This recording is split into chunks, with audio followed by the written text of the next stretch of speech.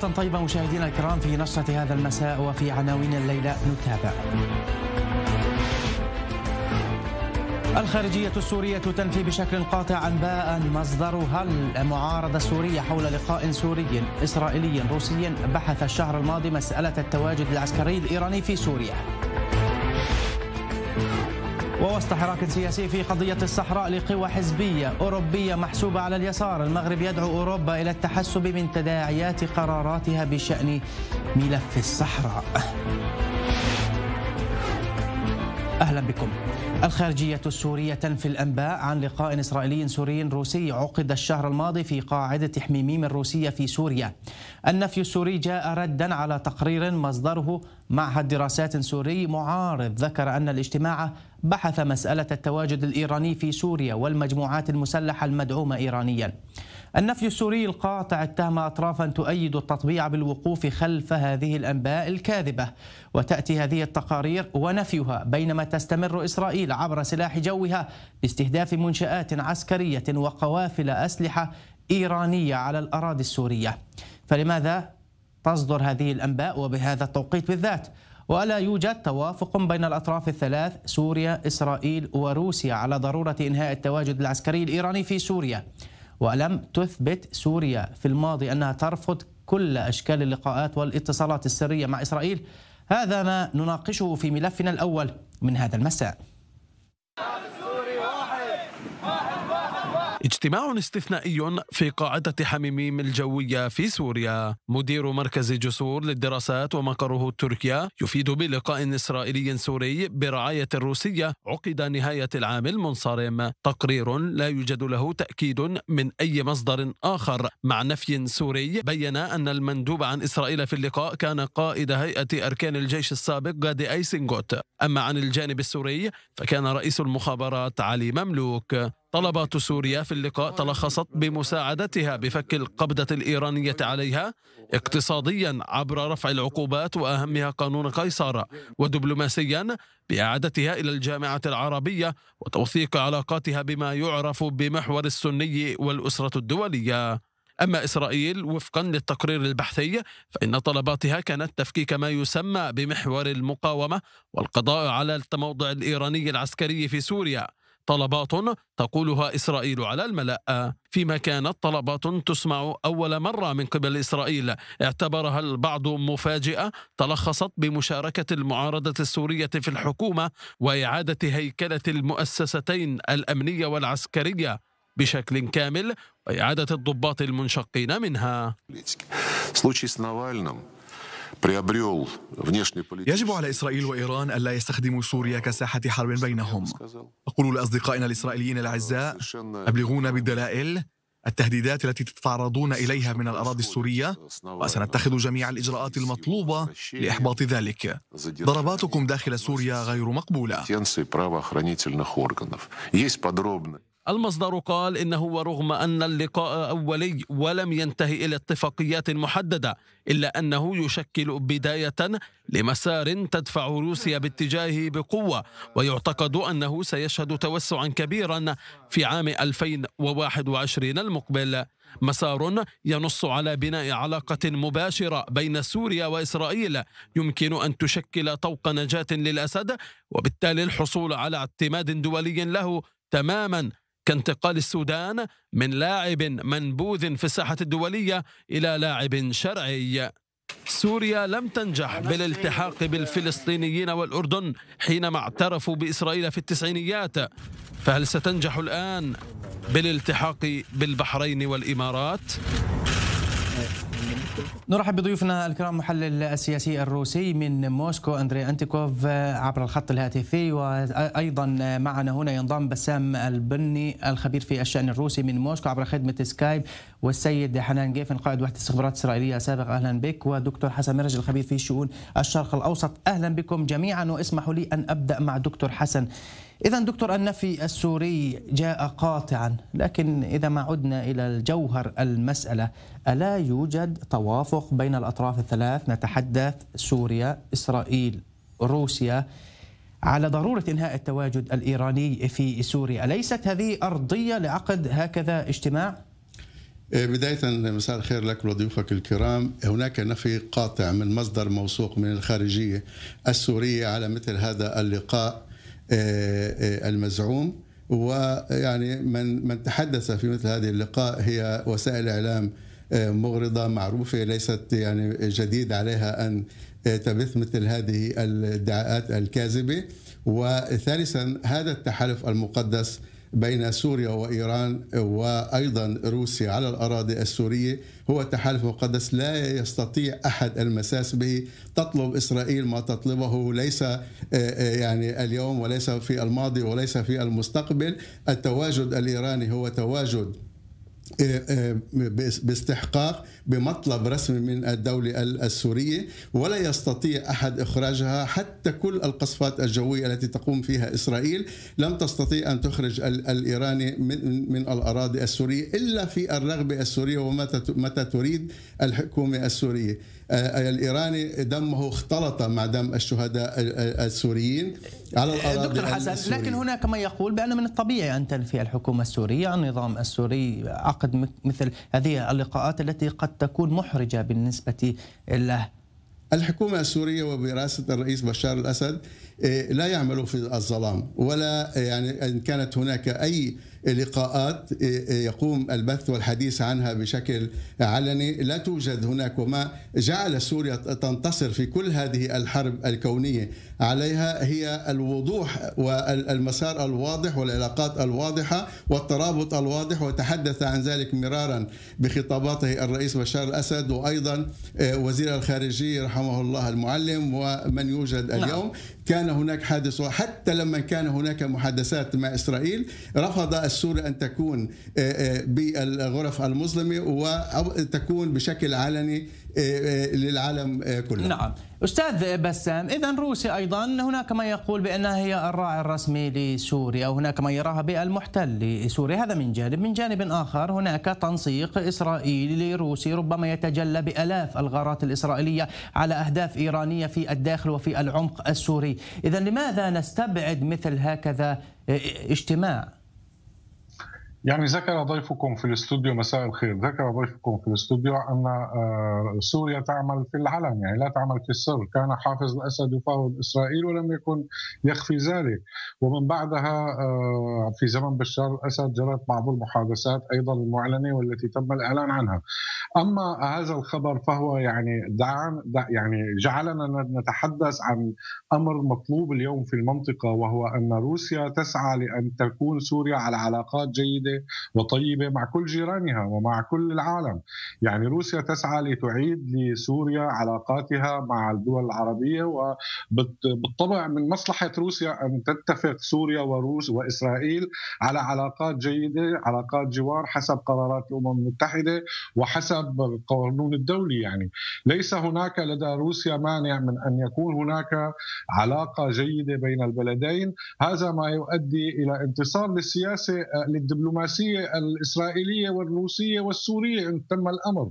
لأن اليوم الوضع أصبح واضحا يعني للعيان. كل الدول آه، بدأت تفهم أنه ليس هناك حرب ممكن أن تنهي الأزمة العربية الإسرائيلية ولا القضية الفلسطينية ولا حتى قضية الأزمة السورية ولا كل الملفات العالقة في المنطقة. والوجود الإيراني المرفوض اسرائيليا في سوريا والمطلوب سوريا بناء على طلب الحكومة السورية بالنسبة لروسيا روسيا روسيا يعني على لسان لافروف كما تحدث آه، تقريركم يعني روسيا تسعى للحفاظ أيضا على أمن إسرائيل بأن تطلب منها أن تخبرها بالمعلومات حول إن كان هناك معلومات عن عن شيء ما يهدد امنها من أجل أن تقوم هي بالتصرف وإزالة هذه الهواجس من أجل أن لا تتحول سوريا إلى ساحة صراع بين إيران وإسرائيل.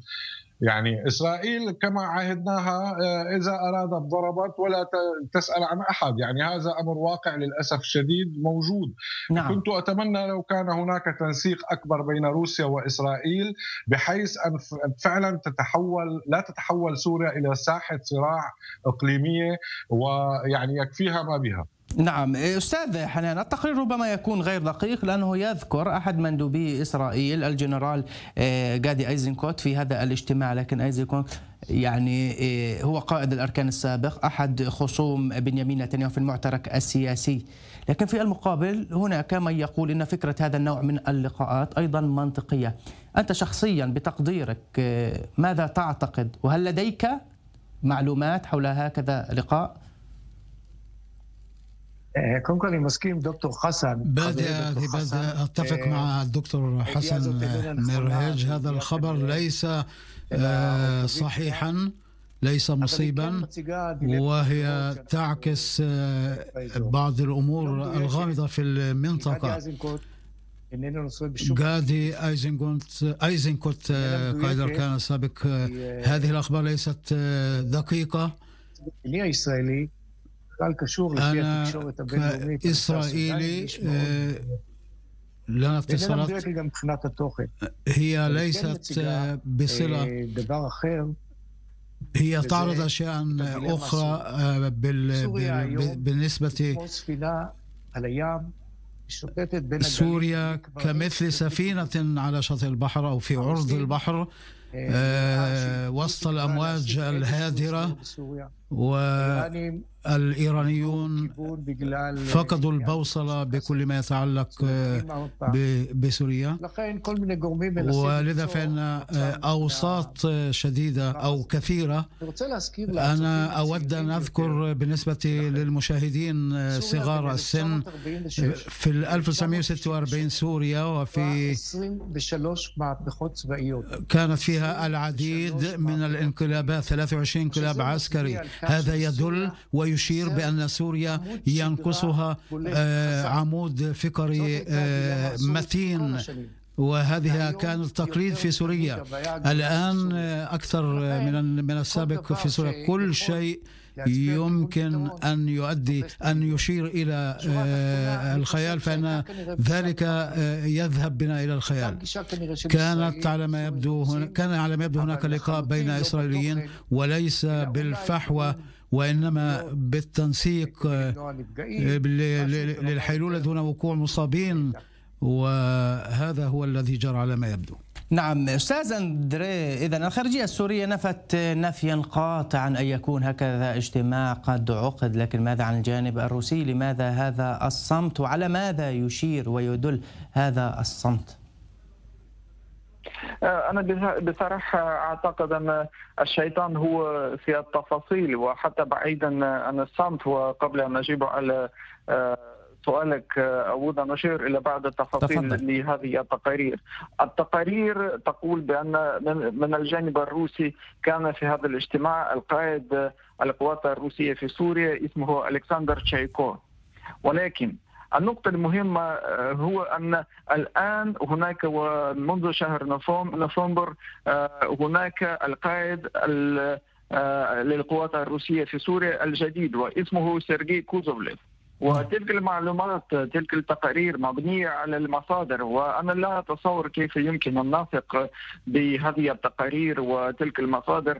عندما نحن نشاهد مثل هذه الأخطاء في المعلومات المبدئية في المعلومات الخاصة يعني ف يعني أنا أنا لا أتصور ما ما من ما مصلحة في نشر مثل تلك التقارير ولكن على ما يبدو واضح أن روسيا في نشر تلك التقارير مستهدفة مستهدفة الاعلاميا نحن نعلم كيف تنظر سوريا والشعب السوري إلى إسرائيل وكيف تنظر الشعب ينظر الشعب السوري إلى التنسيق الروسي الإسرائيلي وعلى ما يبدو هذا مثل تلك التقارير تستهدف روسيا وتهدف لتعميق هذا هذا هذا الرأي العام يعني اقصد يعني عدم رغبة الشعب السوري تجاه روسيا في وتجاه تجاه العملية العسكرية الروسية في سوريا، اذا يعني أنا لا لا أتصور لماذا يجب أن يكون هناك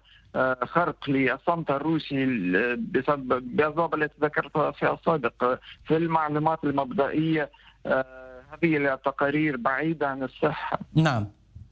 ابقى معنا أستاذ أندري. دكتور حسن إذا مصدر هذا الخبر هو مركز أبحاث سوري معارض لكن التقرير يقول أيضا إن إسرائيل طلبت تشكيل حكومة سورية يتضمن ويشمل المعارضة السورية وأيضا أن تساعد دمشق على تسديد ديونها لإيران. وهناك أهداف وراء هذا الطلب لكن مرة أخرى كل هذه النقاط هي مطروحة على طاولة القيادة السورية.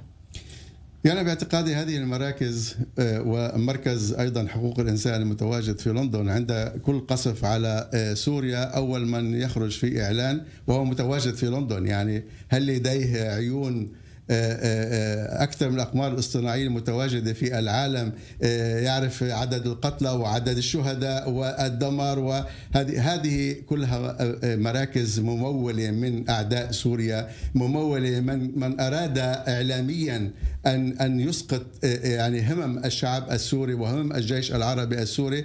ولكن باتت الأمور هذه واضحة وكل أكاذيبهم لن تنطلي على الشعب السوري الشريف الكريم الذي آه، عرف آه، كل وقاحة هذه العالم والتكفيرين الذين أتوا بتمويل هذه الدويلات العربية المطبعة اليوم مع إسرائيل وأيضا الدول الغربية التي دعمت ومولت وسلحت وتكالبت ولكن الحمد لله إنه كل مؤامراتهم فشلت فشلا ذريعا. واليوم يحاولون الاصطياد في المياه العكرة. نعم هناك رغبة سورية وهناك حوار يدور في في جنيف والحكومة السورية لا يوجد لديها أي اعتراض آه، في في الدستور الجديد وفي الحزب المعارض من من يديه لا تلطخ في لم تلطخ في الدم السوري ولم تقطع آه، أجساد السوريين.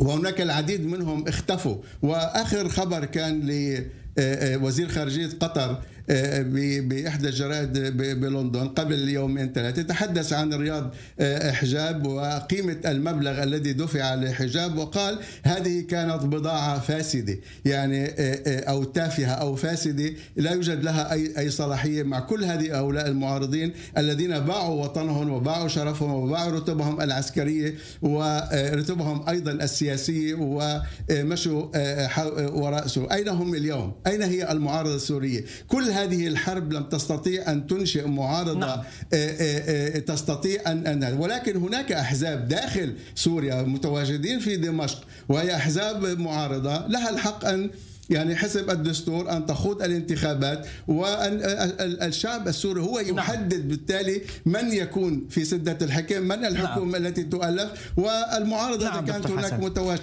متواجدة أيضا. أستاذ بسام يعني رغم أن يفي أيضا السوري لعقد مثل هذا اللقاء لكن الأطراف الثلاثة تحدث إسرائيل سوريا روسيا أليس هناك مصلحة مشتركة اليوم؟ أليس الأطراف الثلاثة اليوم بحاجة لترتيب أوراقهم قبيل دخول الرئيس الجديد إلى البيت الأبيض جو بايدن يوم الأربعاء؟ يعني بكل تأكيد أي علاقات طيبة بين الجيران هي علاقات تؤدي إلى الازدهار والرخاء وإلى آخره من هذه النقاط، ولكن موضوع الدخول البيت الأبيض بايدن من عدم دخوله هذا لن يقدم أو يؤخر ان هناك السياسة في أمريكا لا يحكمها الرئيس، يعني الرئيس هو عبارة عن واجهه ولكن الدولة العميقة هي من تحكم، يعني كلنا شاهد كيف تم تجميد ترامب إلى شكل بشكل كبير يعني في فترة حكمه. وبالنهاية يعني هناك آه، قوى خفية هي من تحرك نعم. السياسة. ليس على السياسة الأمريكية ولكن دعني أقول أن قراءتي لهذا التقرير وهذا الخبر تدل على أن يعني مركز وجود هذا هذا المركز مركز جسور في تركيا يشير الي بأن هناك آه، خف أيدي خفية تركية وراءه لأن يعني تركيا تتصرف كالمرأة عندما تكون تتمنع يتمنعن وهن راغبات. عندما كان أردوغان يقول أن القدس دولة آه، يعني آه، مدينة تركيا بعد أن آه، بدأت خطوات التطبيع بين البحرين والإمارات مع إسرائيل أصبح يعني يناغم ويرسل رسائل آه، كقوله يعني إن تقدموا خطوة تقدمنا خطوتين ونحن نريد أيضا علاقات طيبة موضوع غيره فتحريك هذا المركز لهذا الملف هو عبارة عن رسائل باعتقادي قد تكون تركية إلى إسرائيل أننا نستطيع أن يعني نحرك ونستطيع أن نكون مفيدين ونستطيع أن نكون إلى آخره نتيجة الغيرة من دول الخليج العربي. أما عن العلاقة السورية الإسرائيلية فهذا يقررها الشعب السوري يعني هناك أراضي مغتصبة وهناك قرارات أممية يجب تنفيذها وهناك حل الدولتين بين فلسطين وإسرائيل. يعني إلى اخره من هذه النقاط أنا لست بصدد ذكرها اليوم ولكن دعنا نكون واقعيين وصريحين. يعني إذا أردنا أن نعيش فعلا بحل بحلول وبسلام وبرخاء يجب علينا أن نسمي الأشياء بأسمائها. يعني آه، هناك مواضيع وقضايا عالقة آه، حددها المجتمع الدولي وحددها القرارات الأممية وروسيا وراء آه، نحن هنا في روسيا مع هذه القرارات ومع رغم أننا على علاقة ممتازة مع إسرائيل وتنسيق عسكري وأمني مع إسرائيل وهناك علاقات أكثر من رائعة بين نعم. الرئيسين بوتين ورئيس الوزراء نتنياهو إلى اخره من هذه النقاط. اليوم هذا التقرير هو دليل أن هناك تحرك كبير في المنطقة وهناك آه، توجس من قيام حرب آه، شاملة بين إسرائيل والقوات الإيرانية على الأراضي السورية، هذا الأمر لا ترغب فيه روسيا لأن روسيا تعتبر نفسها أنها هي الحامية لحمى سوريا اليوم. ولكن آه، يعني لا تستطيع أن تتدخل إذا ما قامت حرب إقليمية. نعم. سوى بموضوع الوساطة وموضوع إعطاء ضمانات لإسرائيل نعم أستاذ أستاذ بس أستاذ حنان أيضا إسرائيل تقصف سوريا باستمرار بحجة وبذريعه التواجد الإيراني في سوريا، لكن أليس من المنطقي أن تحاول إسرائيل تسعى لوقف حالة الكر والفر على الأراضي السورية من خلال مبادرة ربما تتطرق إلى كل تداعيات ودوافع هذا التواجد الإيراني خاصة وأن جو بايدن يعني يوم الأربعاء سيدخل إلى البيت الأبيض وقد يعود إلى الاتفاق النووي وهو من شأنه أن يخفف الضغط على طهران. كان نعم التأثير الأمريكي أنا أتفق آه، ההשפעה האמריקאית של הנשיא האמריקאי مع هذا الطرح الرئيس الامريكي لديه سياسه شاهدنا ذلك في عهد ترامب الرئيس الامريكي الفارط المنصرف بالنسبه المشكله في سوريا هي شيء مغاير تماما ليست المشكله مع ايران وانما جميع اللاعبون المركزيون نظام الحكم والولايات المتحده وروسيا وايران وتركيا يائست قنطت من من هذا الوضع. ليس هناك اتجاه نحو الحل في سوريا حل نهائي وهذا والمحققون الباحثون الذين يجلسون في تركيا ليس لديهم ما يرتكزون عليه ولكن يحاولون إيجاد الحل من الناحية الاقتصادية. سوريا تحتاج الكثير المبالغ الطائلة من الموارد المالية. للبنية خاصة البنية الأساسية في سوريا مهدمة وليس هناك من يدفع أو يرصد هذه المبالغ لسوريا. وفي آه، هذه الشروط هذه الظروف هذه الملابسات. من يجلس المفتاح هو في إسرائيل. كما جرى في السودان في اتفاق السلام مع السودان. نعم. عندما آه، فكروا كيف يخرجون من هذا المأزق في السودان عن طريق آه، إخراج السودان من الدول المساندة من قائمة الدول المساندة للإرهاب عن طريق عقد أو إبرام اتفاقية السلام مع إسرائيل هو איש שמחובר לנושא הסודני וזה הסתדר להם نعم كان هناك شخص إسرائيلي على ما يبدو ملتصق بما يجري مع السودان أستاذ أندري هل ربما تسعى روسيا للتنسيق مع إسرائيل وسوريا لمواجهة الإدارة الأمريكية المقبلة التي قد تكون غير مريحة لهذه الأطراف الثلاث وربما يكون كبش الفداء هذه المرة هي إيران هل تتفق مع هذا القول؟ أنا بصراحة لا أرى أي إمكانية ل هذا التنسيق الثلاثي بسبب أن نحن نعلم بأن هناك طلبات المعينة من قبل سوريا تجاه إسرائيل تجاه جولان المحتل قبل كل شيء ونحن نعلم بأن روسيا تقف في هذه هذا الملف إلى جانب السوري ويعني تقف إلى جانب القرارات الأممية لمجلس الأمن للأمم المتحدة.